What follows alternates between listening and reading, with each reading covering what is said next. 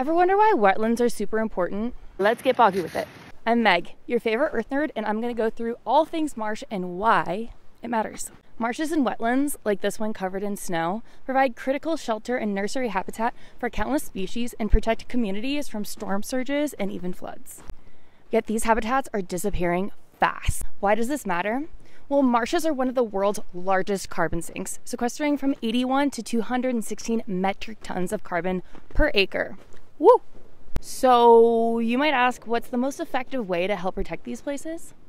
One word policy. For example, after the record breaking Hurricane Katrina hit the Gulf, the Louisiana legislature drafted policies to invest in the coastal ecosystem and restore its resiliency. These programs resulted in a high recovery of marshland, aka, this was an excellent case study of the effectiveness in policy for protecting wetland spaces. Show some love for these soggy boggy places.